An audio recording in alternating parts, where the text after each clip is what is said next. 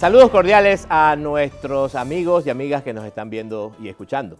Esto es Mesa de Análisis Agricultura y Desarrollo. Soy John Eloy Franco Rodríguez, presentador de este espacio. Hoy traemos un tema muy, muy interesante que es de extrema actualidad, la gestión marino-costera, con un verdadero experto. Él es Vicente Zavala Zavala. Él es el subsecretario de eh, Marino Costero del Ministerio del Ambiente. Vicente es eh, investigador ambiental, profesor universitario, productor también en el ámbito agropecuario. Este rato se desempeña como subsecretario de este despacho. Bienvenido Vicente, gracias por hacer un espacio en tu agenda. Sabemos que este mes, que es el mes del ambiente, eh, la gestión de tu dependencia está muy activa, muy intensa, desarrollando muchas actividades. Bienvenido. Gracias, doctor. Este, realmente eh, primero les traigo un saludo fraterno en nombre del ministro Marcelo Mat del Gobierno Nacional. Muy amable. Y quiero iniciar eh, mi entrevista primero resaltando que soy un docente y soy, soy un producto de esta universidad. Mm, Yo me, me, formé en la Facultad Técnica, obtuve el título de Ingeniero Agropecuario y desde que culminé ese proceso jamás me he deslindado de esta que es mi segundo hogar. Esta universidad me ha permitido consolidar mis conocimientos y sobre todo podría también garantizar que los principios y los valores que fueron inculcados en nuestro proceso de formación hoy nos permiten dar los frutos y poder desde esta cartera de Estado, de esta subsecretaría que es muy amplia, es una subsecretaría desconcentrada, creada con el acuerdo 025 y que tiene múltiples competencias, podamos poner en práctica en beneficio del país y del perfil costero todo lo aprendido. Muchas gracias por esas palabras, Vicente, a nombre de nuestra Universidad Católica de Santiago de Guayaquil. Nuestro equipo de producción ha preparado una nota que la ha tomado desde el despacho que tú estás manejando. Vamos a apreciarla en este momento. Adelante con ella.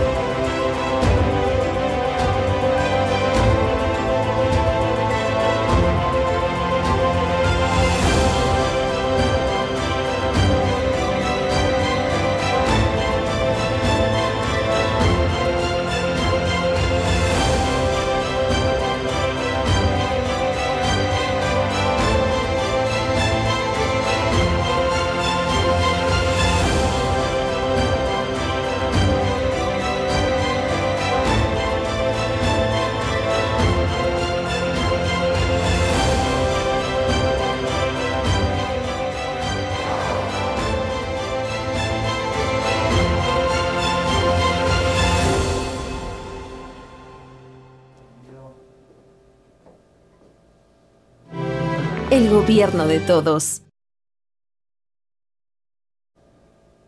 Muchas gracias a nuestro equipo de producción y muchas gracias a, tu eh, subsecretaría que nos facilitó este estupendo material. Definitivamente las tomas satelitales y aéreas son importantísimas y muy bien logrado ese video. Coméntanos un poco sobre eh, la gestión marino-costera para que nuestros amigos que ven y escuchan se enteren de lo que va.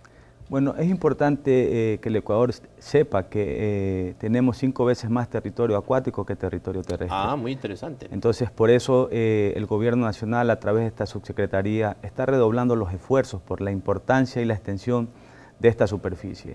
El Ministerio del Ambiente tiene bajo sus competencias directas 19 áreas protegidas que tienen una extensión aproximada de 776 mil hectáreas, tanto marinas como terrestres. Oh. Nosotros estamos yendo más allá no solo tener la autoridad directa sobre la conservación, el direccionamiento y el buen manejo de estos recursos en estas 19 áreas.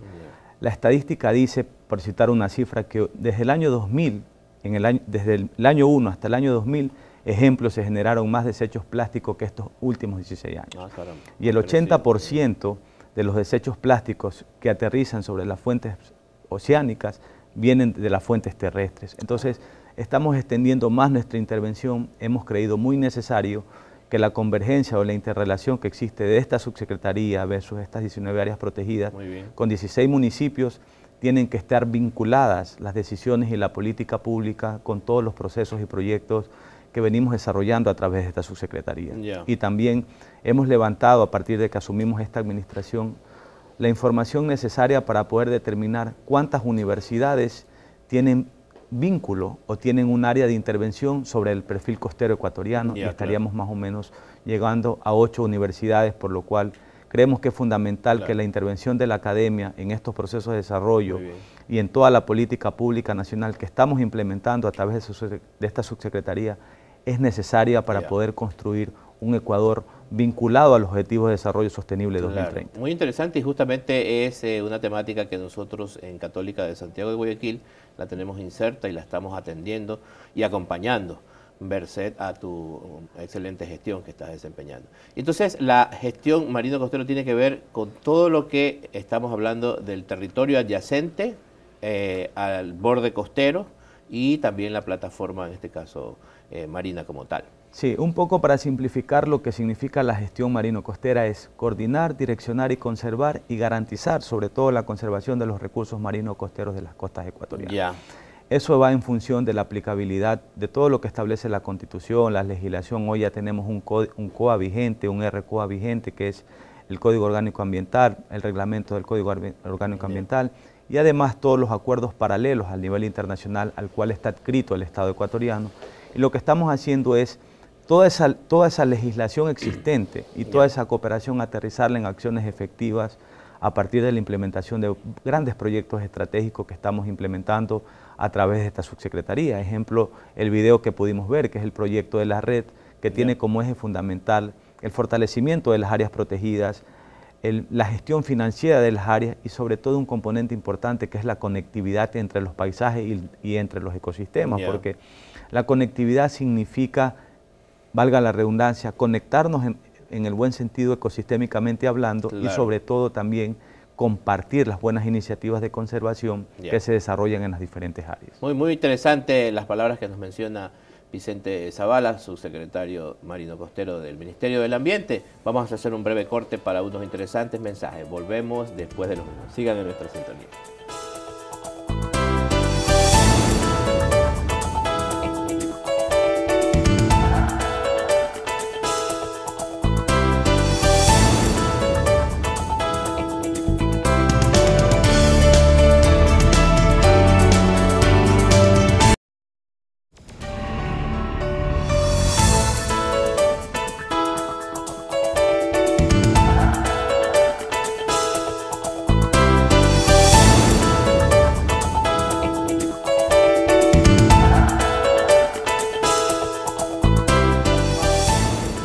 Gracias por seguir en nuestra sintonía. Seguimos con más de Mesa de Análisis Agricultura y Desarrollo en el mes del ambiente, hablando ahora sobre la gestión marino-costero con el subsecretario de esta dependencia que está en el Ministerio del Ambiente, Vicente Zavala. Vicente, eh, indicábamos que eh, tu despacho efectivamente ejecuta proyectos estratégicos que están atendiendo todo lo que es tu competencia. ¿Podrías comentarnos un poco más y ampliarnos en detalle? Sí, tenemos dos proyectos que son los proyectos macros de la subsecretaría. Uno de ellos es el proyecto eh, Manejo Integrado de Espacios Marinos y Costeros con alto valor de biodiversidad. Este es un proyecto que es cofinanciado con GET, con fondos GET, que es el Fondo Ambiental, con, con la FAO y con CI que es Conservation International. Entonces nosotros, eh, una de las grandes cualidades que tiene esta subsecretaría es la gestión a nivel de, financiamiento de la cooperación internacional, Muy bien. pero eso responde también a la confianza y a la transparencia en que se ejecutan los recursos y a los resultados de los mismos. Claro.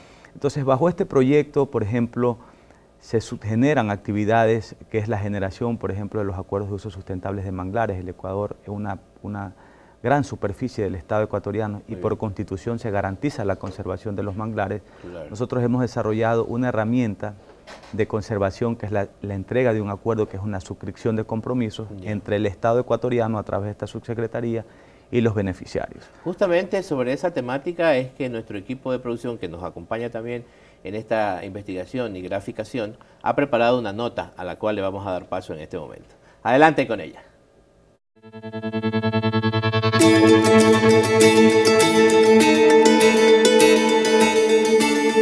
Rincones del planeta donde no se producen residuos, donde solamente existe biodiversidad pristina, esos lugares son los que están siendo más afectados justamente debido a la llegada de residuos eh, por las corrientes marinas.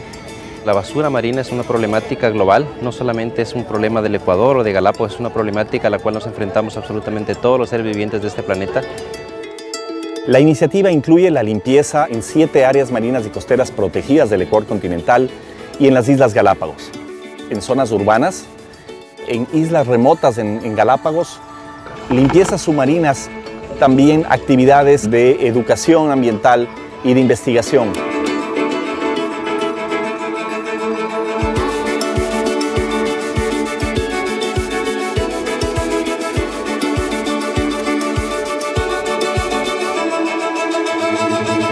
La iniciativa no solamente implica recolectar la basura.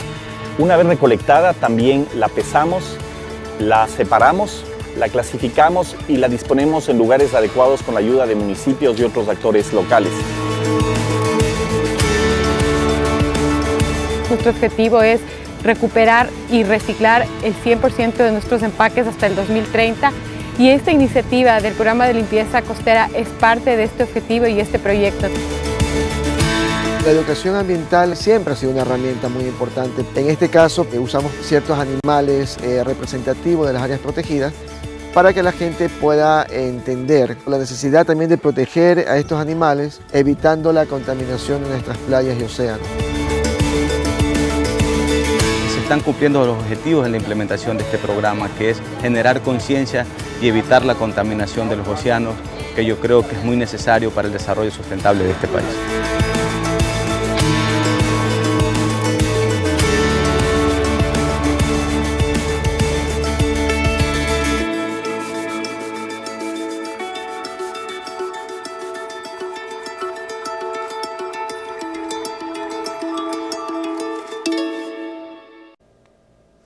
Agradecemos la gentileza pues, del Ministerio del Ambiente facilitarnos este, este, material y a nuestro equipo de producción también por la inserción en este programa.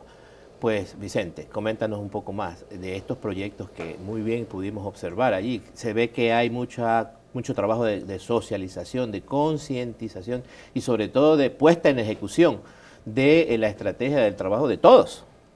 Así es, nosotros somos un ministerio de acciones y justamente el día de hoy estamos también llevando efecto la campaña Defensores del Planeta, que es una campaña similar a las limpiezas costeras, pero lo importante de las limpiezas es, no es la cantidad que recogemos, lo que sí vemos una tendencia de disminución de recolección, claro. no porque trabajemos menos, sino que ya, ya se está siendo eficiente en los procesos de capacitación y de educación ambiental. Y la ciudadanía tiene que entender que el principal afectado en todo proceso de contaminación somos los mismos consumidores. Para citar un ejemplo, la contaminación de los océanos termina afectando en la trazabilidad del impacto de lo que consumen los peces con la presencia de, microplásticos, nanoplásticos y demás que al final de cuentas nosotros mismos terminamos consumiendo. En otro programa eh, hecho, entregado la semana anterior con Alfonso Gufo García sobre el Día del Ambiente, decíamos que cuando yo era pequeño, veíamos que en los buses, de los colectivos eh, urbanos, decía, bote sus desperdicios por la ventana.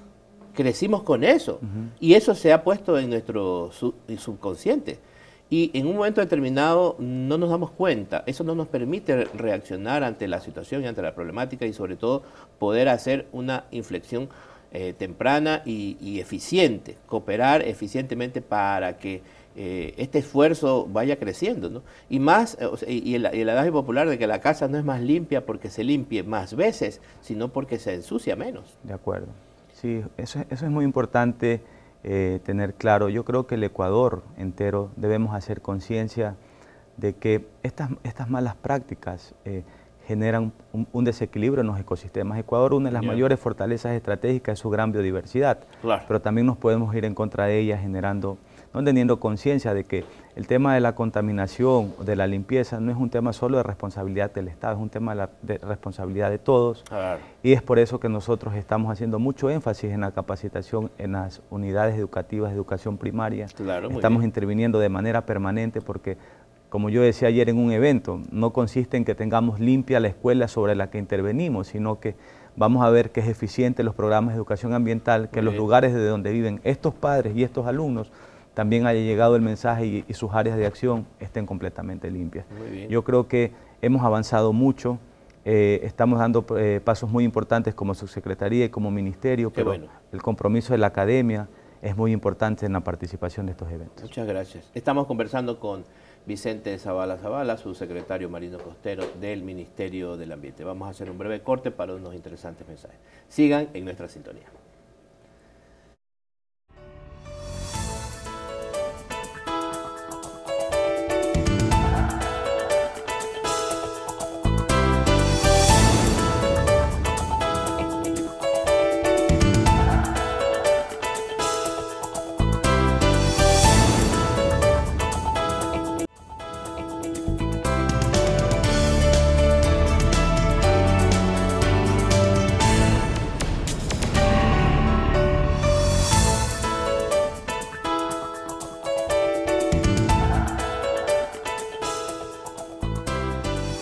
Gracias por eh, seguir en nuestra sintonía y ya en la parte final de nuestro programa dedicado a la gestión marino-costera.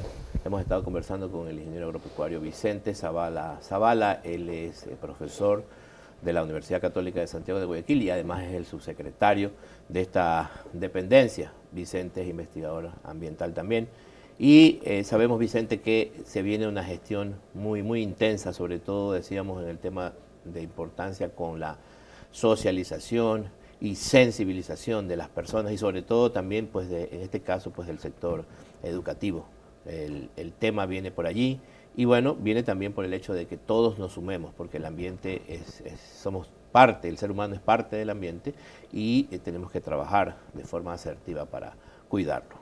Adelante. Sí, justamente al, inicio de la entrevista yo les mencionaba que el Ecuador tiene cinco veces más agua que tierra. Entonces, se ha hablado mucho de los planes de ordenamiento territorial, pero se ha hablado muy poco de los planes de ordenamiento espacial marinos costeros. Entonces, si ordenamos la tierra, ¿por qué no ordenamos los océanos? Entonces, estamos, eh, hemos compartido muchas experiencias a nivel internacional, ya tenemos instrumentos, estamos haciendo ejercicio y eso va a ser uno de los objetivos centrales de esta administración, impulsar el manejo integral costero a través de la planificación ordenada, con la intervención de los diferentes niveles de gobiernos, universidades, gobiernos locales, gobiernos provinciales, eh, estamos ya implementando metodologías porque este es un tema que eh, a partir de la implementación de un nuevo concepto que es el crecimiento azul o economía azul, es necesario incorporar los componentes sociales, eh, los componentes ambientales y los componentes económicos, pero con la participación de todos, yo creo que la conservación de los recursos marino-costeros, más la adición de procesos de bioemprendimiento sostenible bajo la dinámica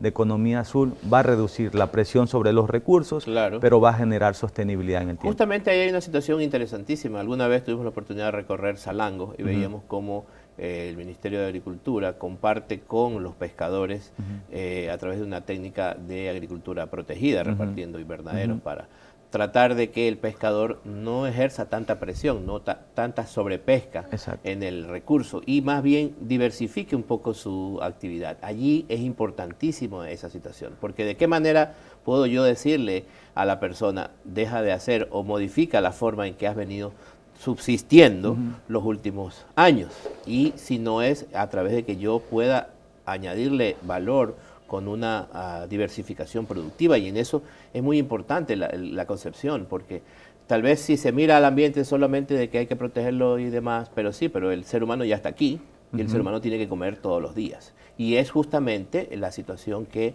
en un momento determinado nos hace eh, desordenarnos. ¿Cómo vería el, Ministerio del Ambiente y tu subsecretaría Marino Costera ese tipo de emprendimientos que eh, ayuden a, mm, desplazar un poco la presión en, los recursos naturales.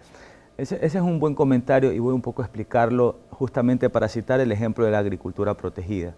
Muchas veces las infracciones o el incumplimiento de la ley en ámbitos de conservación responden a la necesidad de la gente. Muy bien. Entonces, no solo nosotros estamos enfocados en hacer cumplir la ley, porque el ser humano está listo también y tiene que vivir. Estamos generándole alternativas, por citar un ejemplo y para comparar el tema de agricultura protegida. Claro, si utilizamos, por ejemplo, los invernaderos, utilizamos menos superficie, pero tenemos mayor rentabilidad y, ejercemos menos presión sobre el suelo, pero tenemos mayor productividad. Ejemplos similares o dinámicas similares funcionan en el concepto de economía azul. Eh, ejemplo, en el cangrejo hemos desarrollado manuales de buenas prácticas de producción desde el inicio del manejo del recurso hasta la comercialización. Desde que nosotros impulsamos como ministerio que los quienes hacen uso de, ese recurso tengan mayor rentabilidad, obviamente vamos a, vamos a disminuir la presión sobre el recurso. Desde ahí empezamos a generar desarrollo sostenible y nos acercamos al concepto de economía azul que estamos impulsando como gobierno nacional. Muy interesante y entonces ahí también sumamos al, concepto de economía verde, ahora economía azul. Y se hace una dualidad muy, muy interesante que tiene que ver con la promoción, decíamos, de la biodiversidad y sobre todo el rescate y mantenimiento del potencial que tiene nuestra nuestro territorio, eh, que es biodiverso eh, por excelencia, premios internacionales por efecto, pues no solamente el tema playas, la, vida marina, la vida también en, las selvas, sino también como la posibilidad de cómo nosotros conducimos como seres humanos inteligentes a las personas que están viviendo allí, porque están allí, no los podemos sacar, pero hacer que sean sus prácticas sostenibles y, y, puedan, y también rentables, ¿no? para que ah, de esa manera ellos puedan acoger de mejor manera nuestra, nuestra acción. Sí, justamente es para cambiar ese paradigma, lo que comúnmente se ha visto el Ministerio del Ambiente, que conservación es sinónimo de restricción de desarrollo. No, nosotros creemos que la conservación sí es importante, pero también el desarrollo del ser humano es importante. Entonces el equilibrio está en aplicación de un concepto como economía azul, que no restringe la utilización de los recursos, sino que motiva la utilización responsable y a la conservación de los mismos. Y en esa lógica Estamos, eh, hemos utilizado, por ejemplo, a la fecha hemos entregado cerca de 52 acuerdos.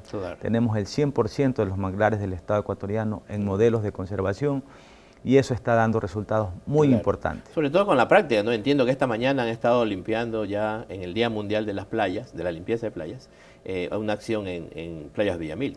Sí, y, lo más importante en, el evento del día de hoy es ver el compromiso de la gente, el empoderamiento, la participación. Eso nos llena de mucha alegría y nos motiva porque sabemos que el, mensaje y los, proyectos que estamos desarrollando como gobierno nacional está en el compromiso de todos y estamos citando las, unas palabras del vicepresidente en un evento en que vamos en un solo camino, en un solo tren que es el Ecuador. Muy bien, muchas gracias. Se nos ha terminado nuestro tiempo, Vicente. El tema se nota que te apasiona, lo dominas muchísimo y a nosotros nos encanta sobremanera. Sin embargo, mirando tu cámara o en la despedida final a nuestro auditorio, nacional y mundial. Sí, realmente un saludo fraterno a quienes hacen la Universidad Católica y sientan en este espacio del Ministerio del Ambiente un espacio de convergencia y de interrelación para constituir un nuevo Ecuador y mejores seres humanos, que es nuestra tarea para la que fuimos formados. Muy bien, muchas gracias. Pues ha sido el ingeniero agropecuario Vicente Zavala Zavala, su secretario Marino Costero del Ministerio del Ambiente. Muchas gracias a ustedes por su tiempo, por todos esos eh, llamadas telefónicas, esos correos y esos me gustas en las redes sociales. Soy John Eloy Franco Rodríguez y esto ha sido Mesa de Análisis, Agricultura y Desarrollo. Que estén muy bien.